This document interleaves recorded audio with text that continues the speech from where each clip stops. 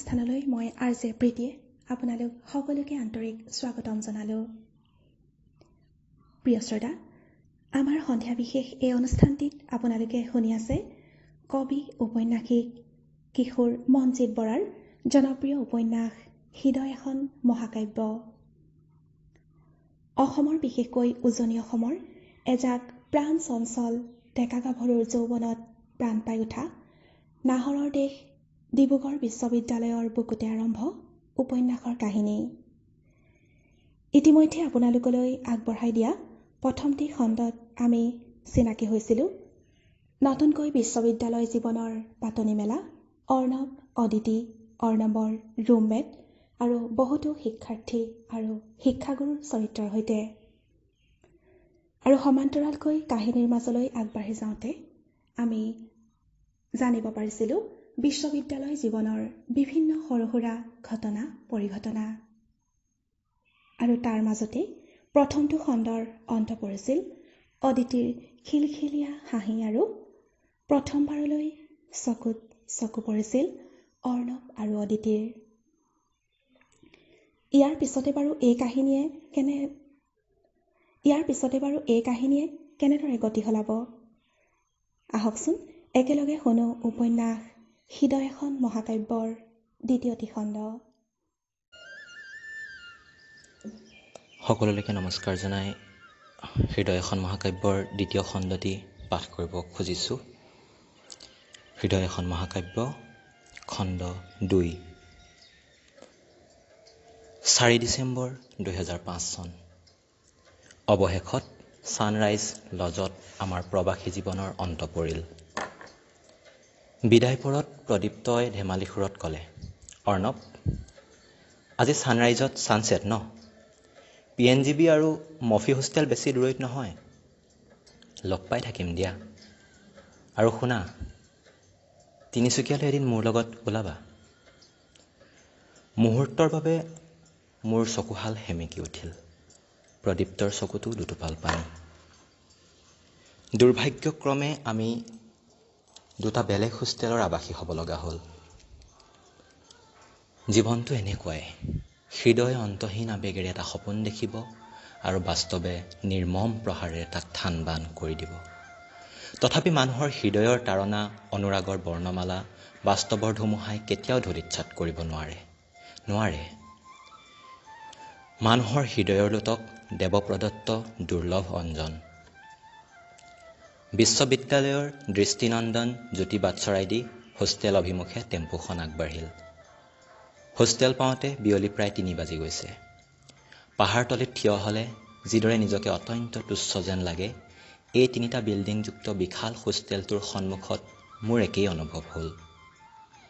হোষ্টেলৰ প্ৰৱেশদ্বাৰত লিখা আছিল P N G B C N the pride of D U Padmanath Gohain Baruah ছাত্ৰ নিবাস দুশ তেৰখন হৃদয়ৰ একত্ৰ আশ্ৰয়স্থল।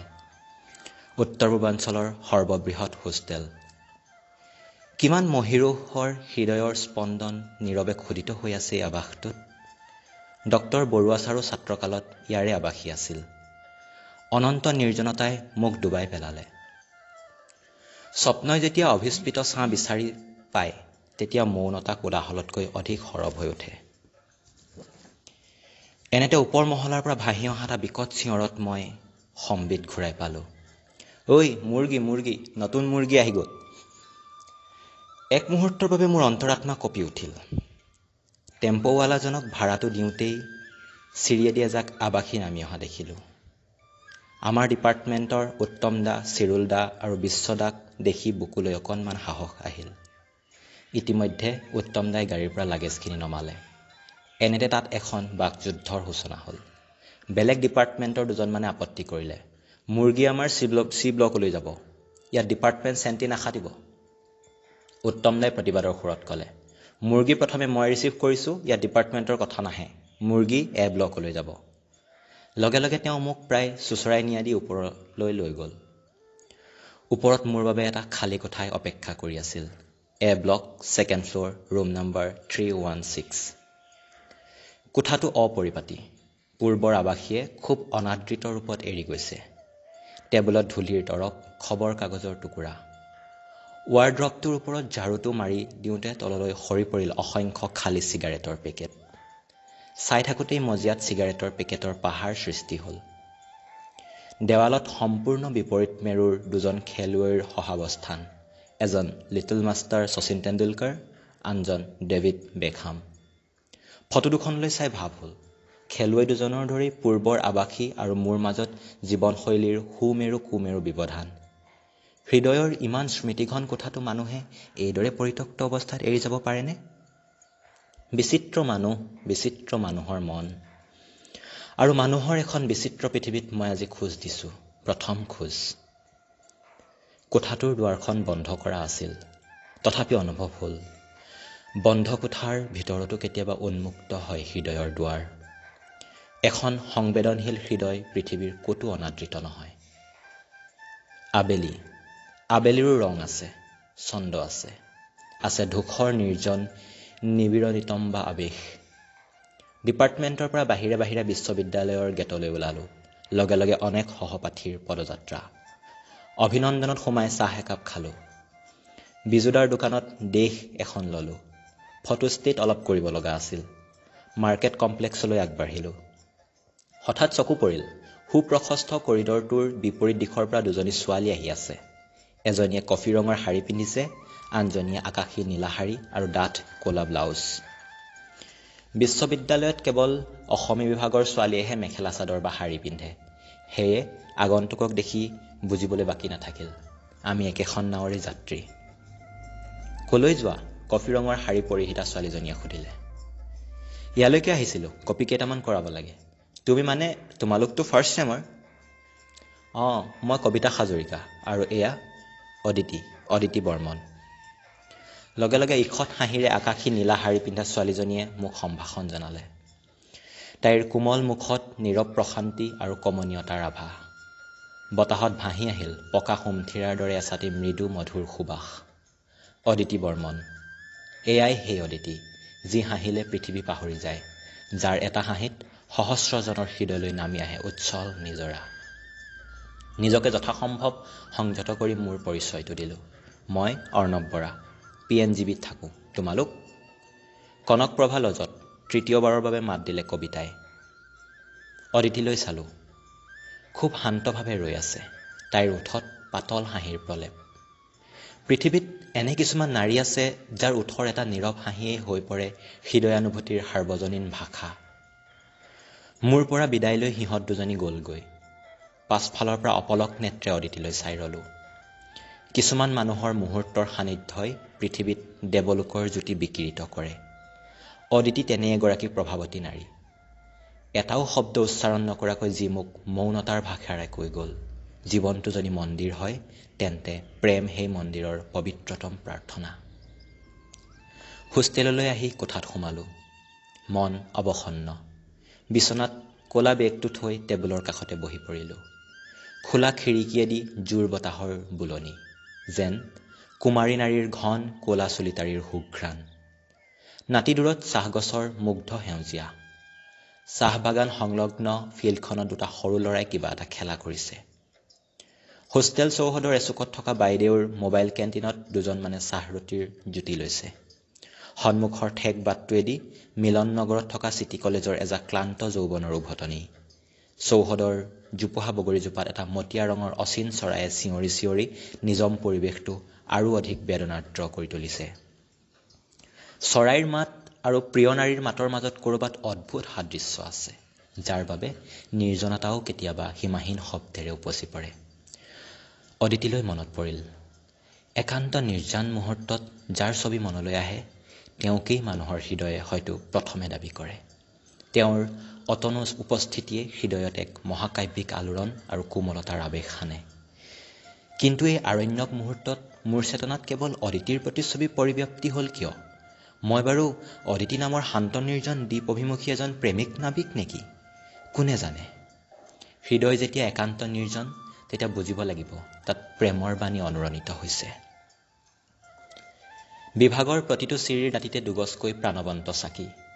চিৰি সংলগ্ন মজিয়াত এটা সুদৃশ্য মৰল। শিল্পী হাতৰ এপাহ ধুনীয়া প্ৰস্ফুটিত পদুম। ওপৰত উৰন্ত বেলুন।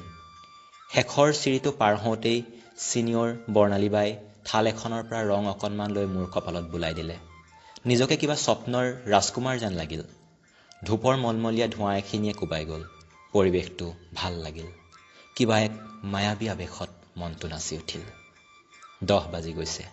জুনিয়ৰ বাবে সজাই থোৱা নিৰ্দিষ্ট কোঠাটোলৈ আগবাঢ়িলোঁ।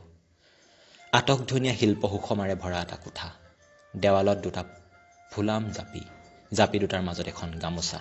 গামোচাৰ শুভ্ৰ বুকুত জিলিকি আছে তিনিটা পাতল সেউজীয়া শব্দ। নৱাগত আদৰণি সভা। মঞ্চত ইতিমধ্যে শিক্ষাগুৰুসকল উপবিষ্ট হৈছে। দুটা সজীৱ ফুলদানিৰ মাজত সেয়া বিশ্ববিদ্যালয়ৰ উপাচাৰ্য ডক্টৰ কুলেন্দু পাঠক ছাৰ।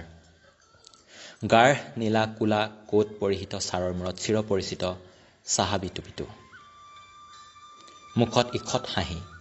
কিছুমান মানুহক দেখিলে এটা গভীৰ সন্তুষ্টি আৰু পৰিতৃপ্তিৰ ভাৱে মনত দোলা দি যায়।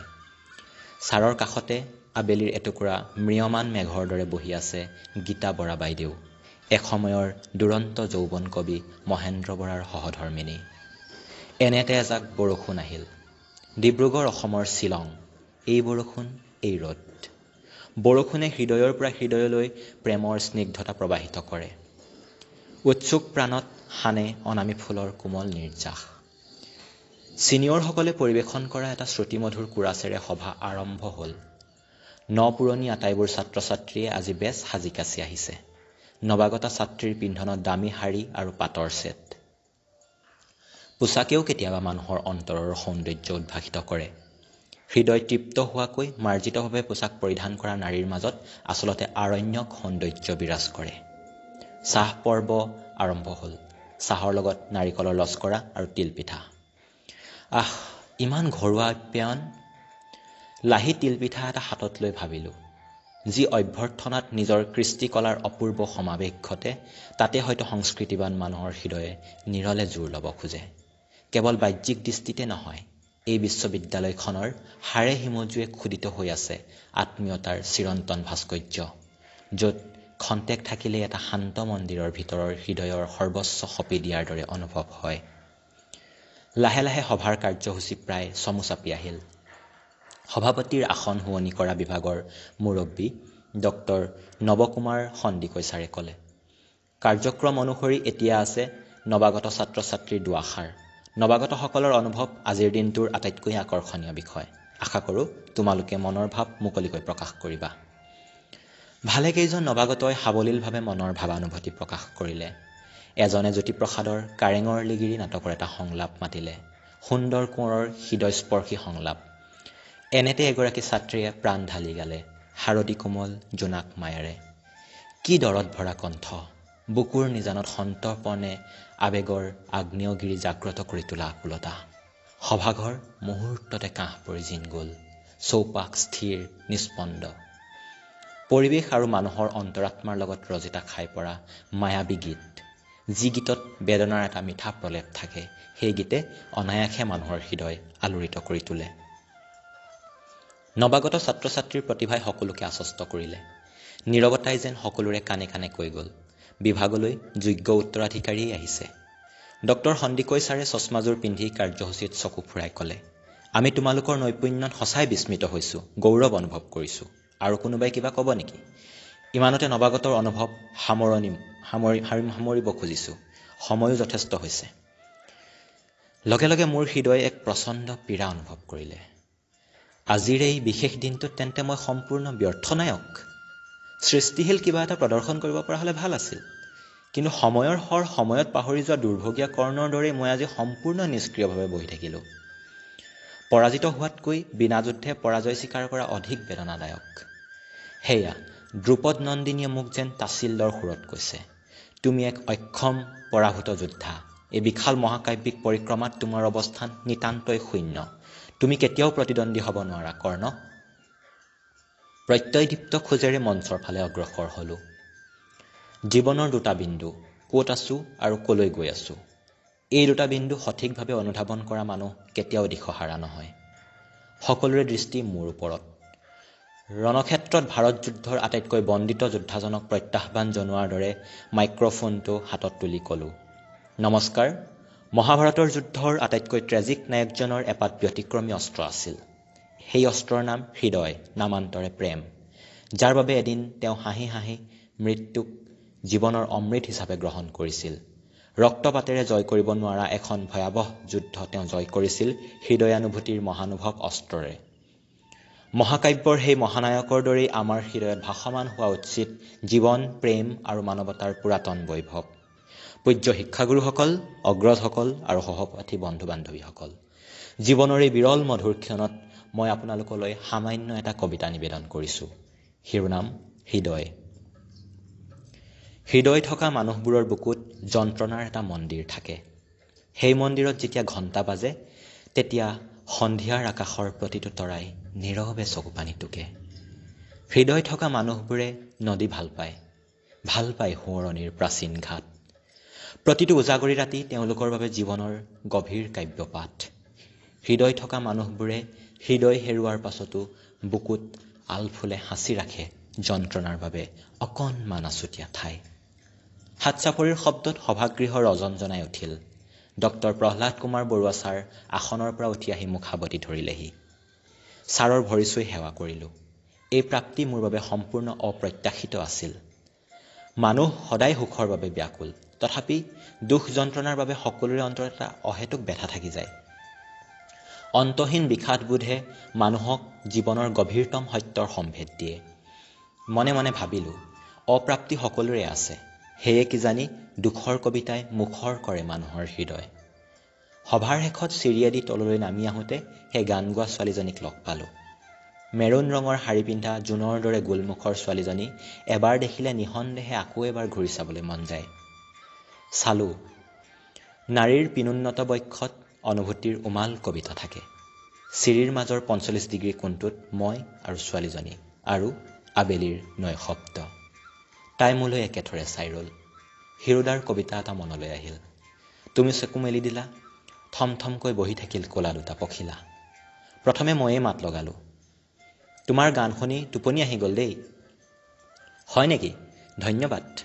আৰু তোমাৰ কবিতা মই ভাবোঁ পৃথিৱীৰ আটাইতকৈ নিষ্ঠুৰ মানুহজনেও এপ্ৰিচিয়েট কৰিব বুজিছা? বেছি কৈছা মই সংকুচিত হ'লোঁ। নহয় সেয়া তোমাৰ প্ৰাপ্য আৰু প্ৰাপ্যখিনি দিয়াৰ ক্ষেত্ৰত কৃপণালী কৰিলে মানুহৰ প্ৰতিভাক অসন্মান কৰা হয়। এটা কথা ৰাখিবা কোৱা কবিতাটোৰ এটা কপি মোক দিবা? কবিতা ভাল পোৱা?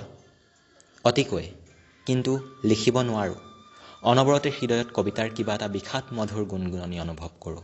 এতিয়া কোৱা। দিবানে? কি? তোমাৰ হৃদয়? হৃদয়? মোৰ চকু কপালত উঠিল। অঁ হৃদয় তাইৰ ভাৱলেখহীন উত্তৰ। এটা চৰ্ত আছে। দান দিলে প্ৰতিদান বিচাৰিব নাপায়। তথাপি কোৱা বাৰু কি চৰ্ত? খিলখিলাই হাঁহি তাই সুধিলে। তুমি আজি গোৱা গানটো মোক আকৌ এবাৰ শুনাবা। বহল দুচকুত অনামী দুষ্টালি সানি তাই সুৰমূৰকৈ তললৈ নামি গ'ল। একেবাৰে শেষৰ চিৰিটো পাৰ হৈ এক মুহূৰ্ত ৰ'ল আৰু পাছলৈ ঘূৰি চাই অৰ্থপূৰ্ণ হাঁহি এটা মাৰি ক'লে এবাৰ কিয়? তোমাক এশবাৰ শুনাবলৈও মই প্ৰস্তুত। শূন্য চিৰিটোত স্তব্ধ হৈ ৰৈ গ'লোঁ। মোৰ হৃদয় অবুজ উন্মাদনাৰে উঠলি উঠিল। ধেত ছোৱালীজনীৰ নামটোও সুধিবলৈ নহ'ল নহয়। সুধিব লাগিব। ক'ত যাব?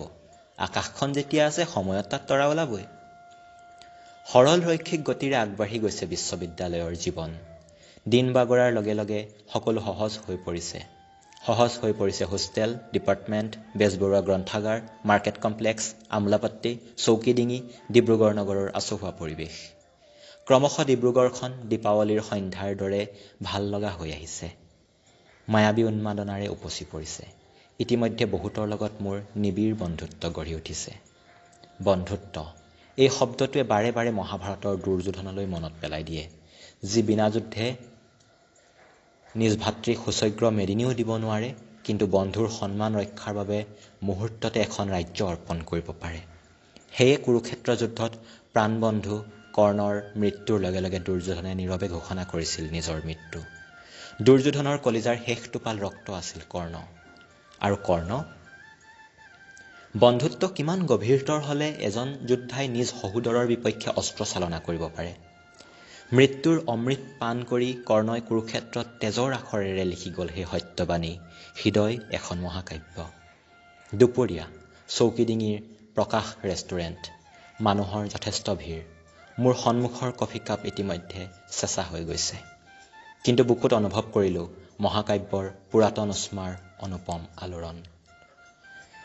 দ্বিতীয় খণ্ডটোৱেই ইমানতে সামৰণি মাৰিছোঁ শুনি থকা সকলোলৈ ধন্যবাদ জনালোঁ। তৃতীয় খণ্ডটিলৈ আজি নিশা পুনৰ আপোনালোকৰ আগত উপস্থিত হ'ম। ধন্যবাদ। প্ৰিয় শ্ৰোতা ইমান আপোনালোকে আজিৰ সন্ধিয়া বিশেষত শুনিবলৈ পালে? কিশোৰ মনজিত বৰাৰ জনপ্ৰিয় উপন্যাস হৃদয় এখন মহাকাব্যৰ দ্বিতীয়টি খণ্ড পাঠ আগবঢ়ালে বৰ্ণিলে। আজিৰ খণ্ডটি শুনি কেনে পালে আমাক কমেণ্ট কৰি আপোনালোকে জনাবলৈ নাপাহৰিব। উপন্যাসখনৰ তৃতীয়টি খণ্ড আমি আপোনালোকলৈ আগবঢ়াম আমাৰ পৰৱৰ্তী অনুষ্ঠানত। তেনেহ'লে আজিলৈ ইমানতে। বিদায় লৈছোঁ। নমস্কাৰ।